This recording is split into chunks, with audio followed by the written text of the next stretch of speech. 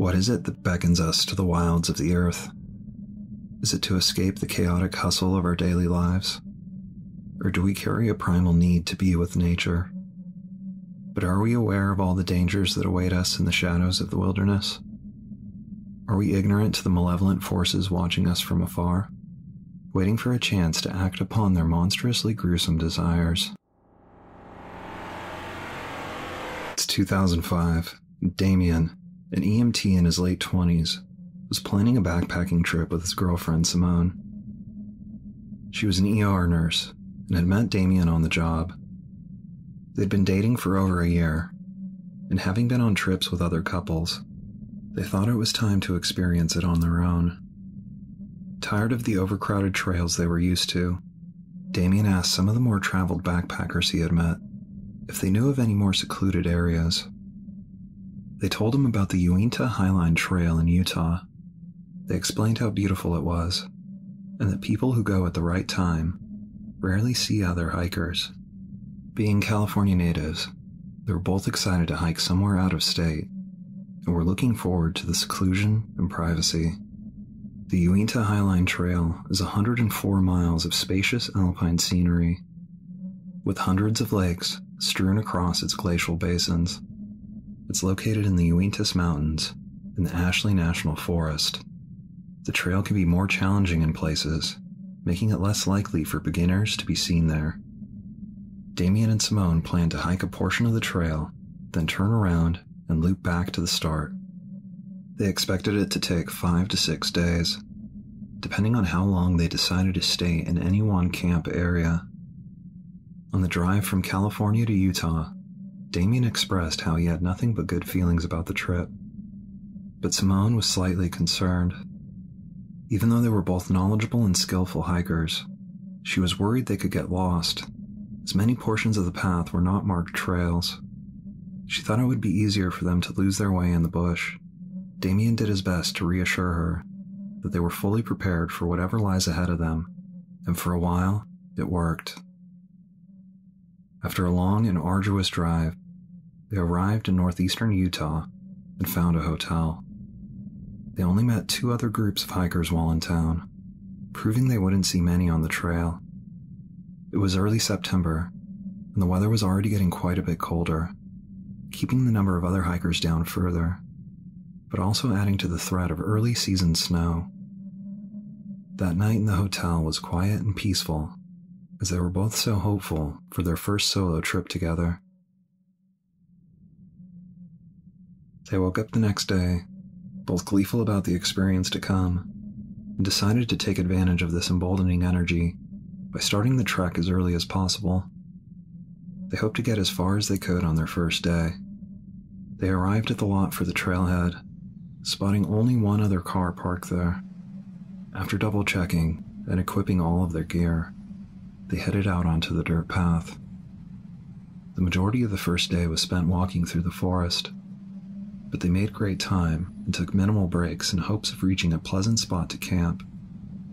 Damien regaled Simone with his annoyingly unfunny jokes that only she found entertaining. They both enjoyed the shades of yellow, orange, and red that shone like fire when the sun glowed through the leaves. They still hadn't seen a single other person and wondered if they even would. Damien felt as if the day passed by too fast, for almost as soon as they exited the forest, the sun began to fall. The cold air meant no bugs, but also meant losing energy faster, so they made finding a place to camp their next priority. Daylight continued to fall, and they still could not find a suitable spot. After a little over an hour, they finally came to a small clearing they thought acceptable, even though it was dark and hard to see the view around them. They both knew waiting so long to make camp was foolish, but their excitement seemed to temporarily overpower their better judgment.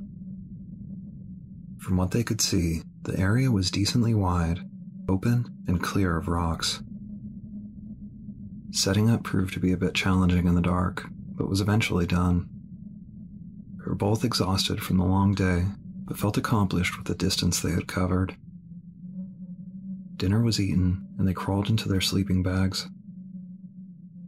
Their conversation that night was short, as they almost immediately fell asleep. Sometime later, Damien was shaken awake by Simone. He opened his eyes to see her leaned over him with a look of disconcerting distress. Damien, Damien, wake up, she whispered frantically, while looking up and back at him repeatedly. Damien struggled to focus his thoughts as Simone continued to shake him. What is that horrible sound? she asked fearfully, hoping he would have an explanation. Damien finally gathered himself to hear what sounded like a high pitched, raspy scream coming from somewhere in the distance. There was a slight breeze rustling the fabric of the tent as the pair sat in silence, waiting for the ominous sound to repeat. Simone began to say, What do you think it is? when the scream again echoed from out of the unknown darkness. Damien tried to think of an animal that would sound that way, but was vexed by the pitch and volume, as it seemed to travel from far away, but was still thunderously deafening. It was as if a person were out in the woods, bellowing into a megaphone. You know what, babe? Think it's a fox. They scream like that sometimes to attract a mate, he said, aiming to calm her worries. What he failed to mention is that mountain lions have a similar mating call that sounds like a human screaming in agonizing terror. Thought about how all the food was secured, and how the screams seemed to come from so far away that they would be fine staying where they were. He knew there was no point in scaring Simone any further when the threat was so minimal. Simone was frightened, but knew if the danger were imminent, Damien would make some sort of plan. The ear piercing screams eventually came to a stop, and the troubled couple began to relax again, slowly drifting back to sleep to the sounds of the wind rustling the leaves. Next morning, the young couple awoke to find the location they had chosen, in the dark the night before, was more beautiful than they had imagined.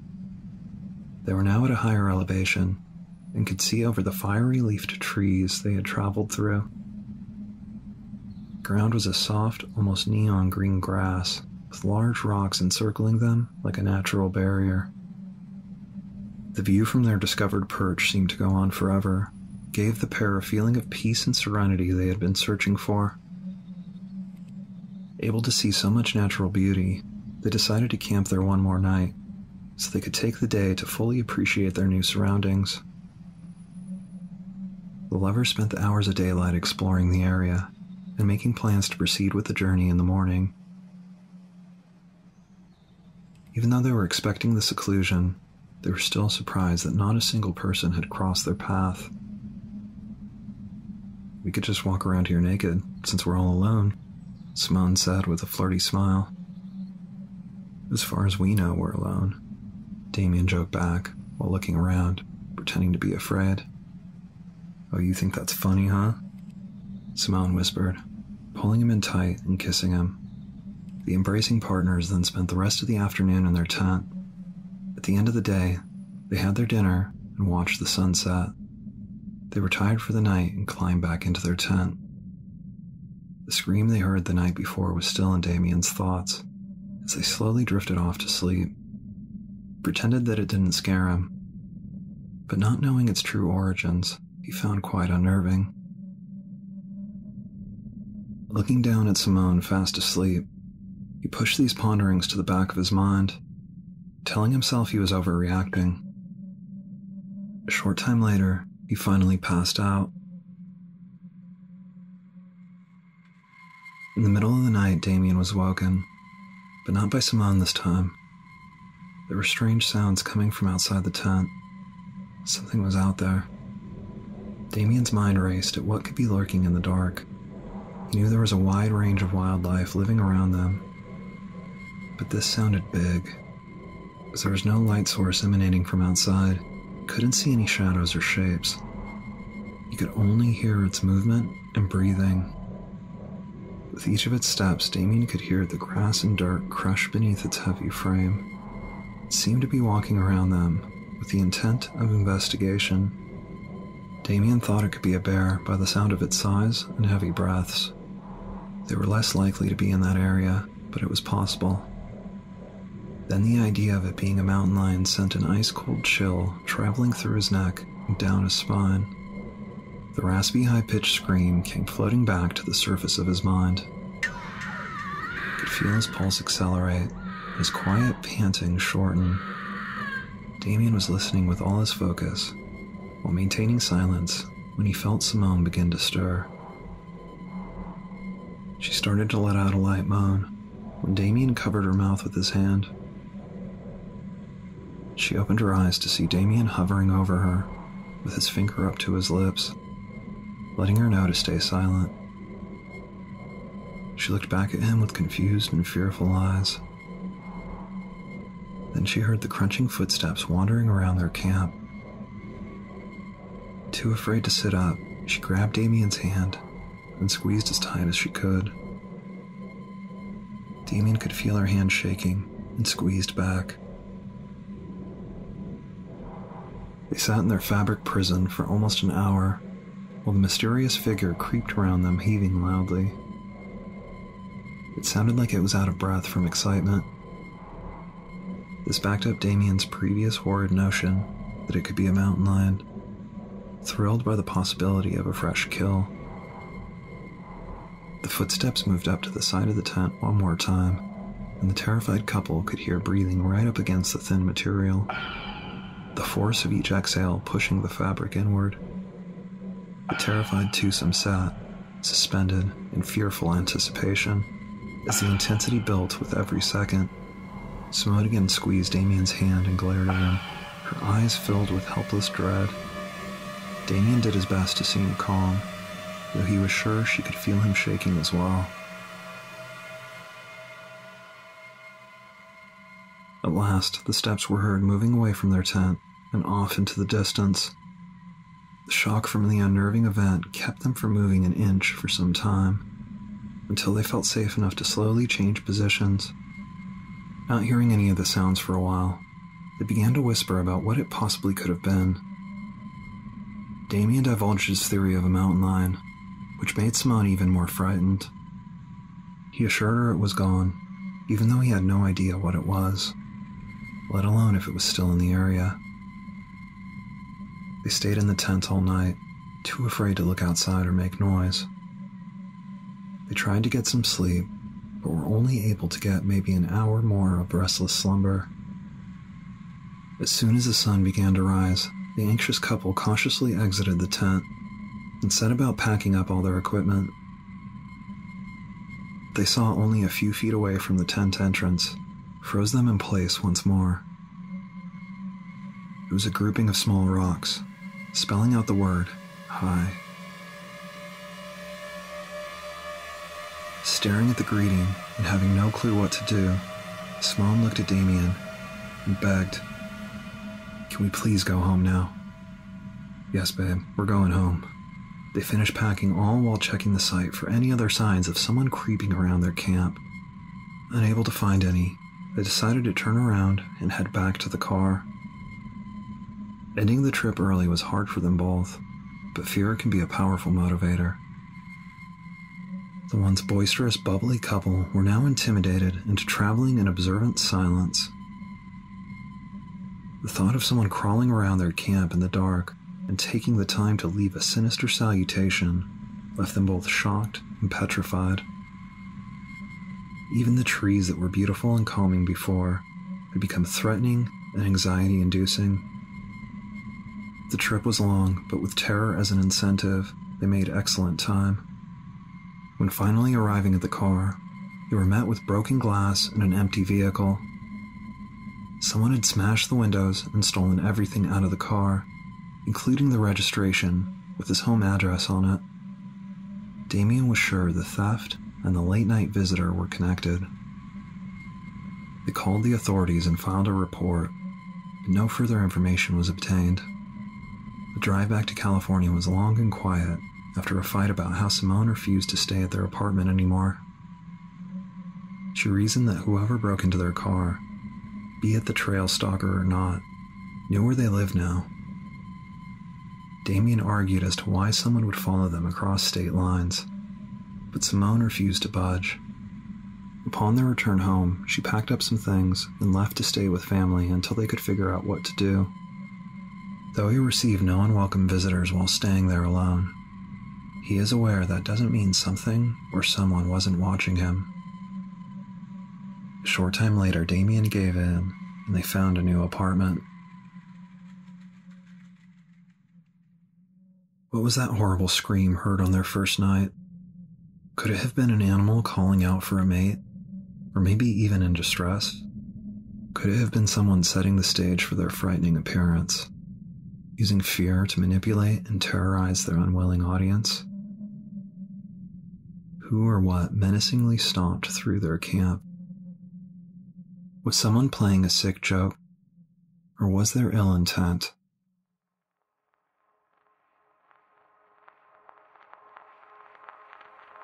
Looking into the past of the Uintas Mountains led us to a fascinating, legend filled story, including secret gold mines, murderous conspiracies, and nightmare fueling cryptids.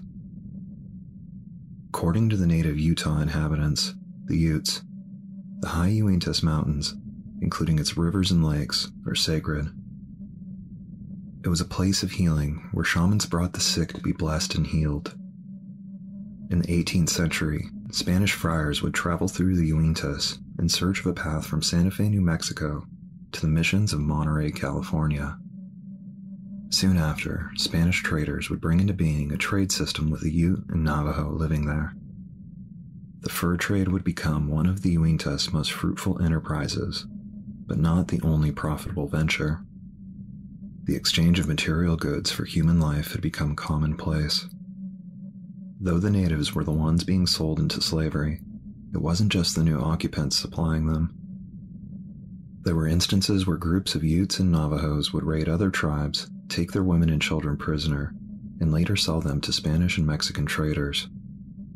The barter and sale of individuals, as if they were livestock, had become so widespread, even local destitute families would sell their children into servitude for food to keep from starving. In 1865, the natives were relegated to the Uinta Valley Reserve Indian Reservation.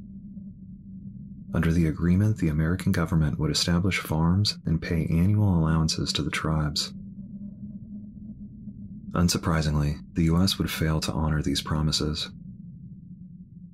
This caused the several bands of Ute tribes being forced to cohabitate to leave the reservation and revolt in the Black Hawk War. After two years of fighting, a treaty was signed forcing the natives back to the reservation. However, in 1905, the government opened the land to purchase by any person, which brought about a flood of miners and farmers to the area. This led to increased tensions between the Utah natives and the white Mormon settlers. There are many legends of secret gold mines in the mountains of Uinta. Some tell of gold lined caves, only known by the indigenous locals, while others speak of Mormons or Spaniards mining the precious metal in still undiscovered places. Though there is no record of any substantial gold ever being found there, we have to wonder why anyone would divulge the location of their own private sources of riches to anyone, let alone the government. Many believe the power of the Mormon church in the area is due to a clandestine agreement between them and the natives that began long ago. One theory goes that the church made a pact with them to trade their gold for the secrecy of the native tribes still living in the mountains, unknown to the world around them. Could they still be honoring this contract of confidentiality? One cautionary tale tells of two soldiers who stumbled across a tribe of Utes adorned in precious metals.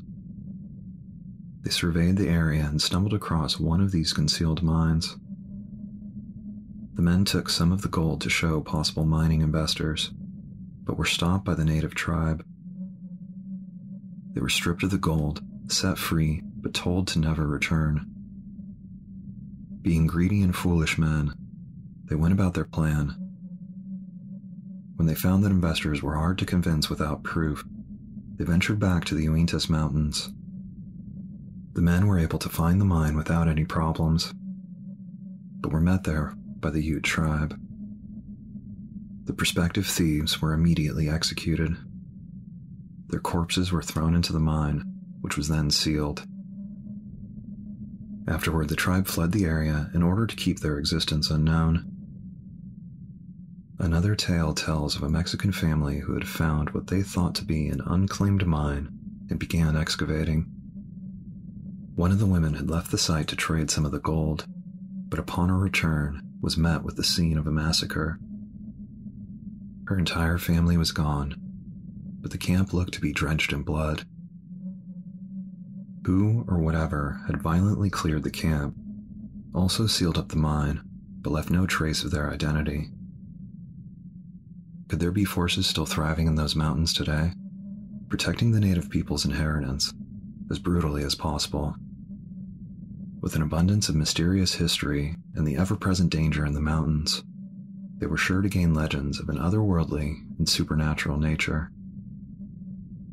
Or could it be paranormal beings and events that caused the area to be so dangerous? Accounts of ghosts, long extinct beasts, unknown creatures, and extraterrestrial appearances aren't uncommon for the Uinta Basin. The sightings and happenings on the famous nearby properties of Skinwalker and Blind Frog Ranch serve as a testament to the frightening and unexplainable narratives of doubted witnesses cattle mutilations, alien crafts, mythical creatures, and colossal beasts crawling through portals from other worlds are only some of the experiences documented on these lands. Spirits of numerous backgrounds and temperaments are seen and heard along the Highline Trail. There are accounts of drums bellowing from the dark, while ghostly natives have been seen roaming through their once sacred land. The apparitions of hikers and campers who have lost their lives, calling out for help, are a common, chilling sight. There's the crying child drenched in lake water, who begs for help until she lets out a horrid scream and dissipates back into nothing. Could there be something keeping the essence of these poor souls from leaving, holding them in a repeated pattern of pain and suffering? Strange creatures are another frequently noted feature one report from the early 2000s speaks of a man hiking along the trail when he saw what looked like a large wolf in the distance. He froze in place, waiting for the creature to make a move. It turned its head to meet eyes with the man, then turned straight towards him in a full sprint. The man could not move and believed this to be his last moment alive. The closer it got to him, the more he noticed its massive size which would have been impossible for a wolf, the man thought. Just as the beast reached him, at the last second, it turned slightly and sprinted past him, veering off the trail and disappearing. The man reported the experience to the authorities was shown a catalog of wolf species to identify what he had seen. Only one picture matched his description. It was an image of a dire wolf, a giant ancestor of the present day wolf that went extinct over a thousand years ago. A variety of sightings of a massive wolf like creature have been reported, leading some to believe it to be the mythical Navajo skinwalker, an evil witch with the ability to control or mutate into an animal. The Navajo people refuse to share information on the subject, giving into the thought that even discussing the murderous sorcerer can summon its presence.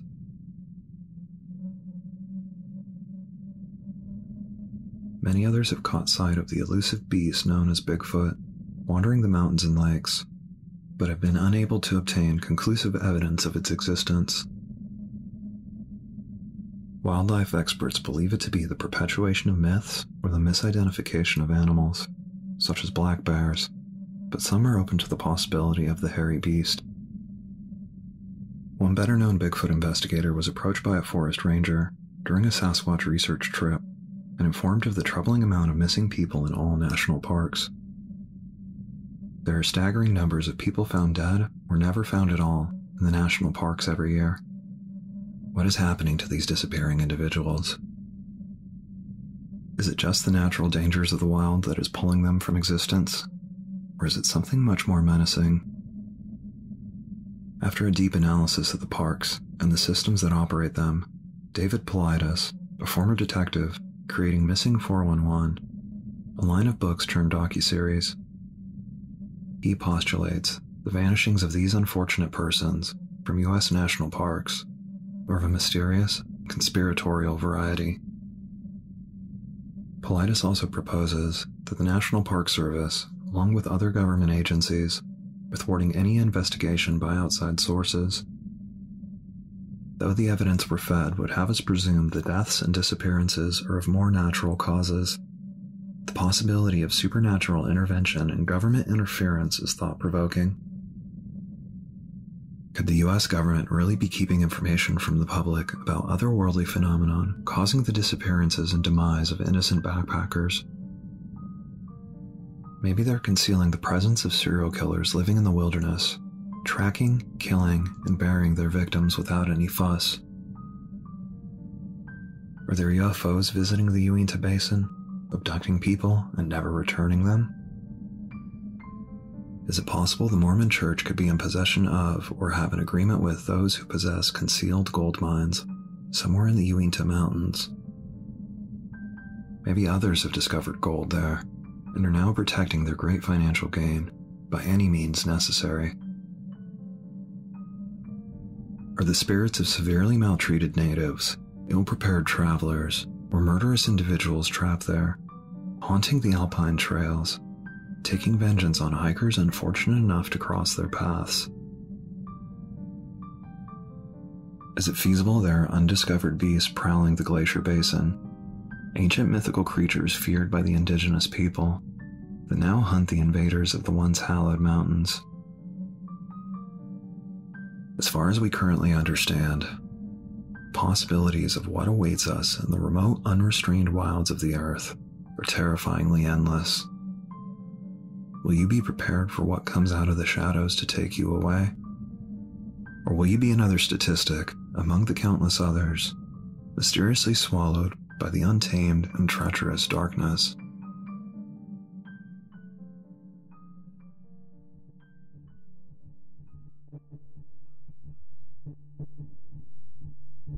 What lurks in the darkness just beyond our view? Have you caught a glimpse of a malevolent force? Let us tell your story. Subscribe to Black Letters for a new horror story every 13 days.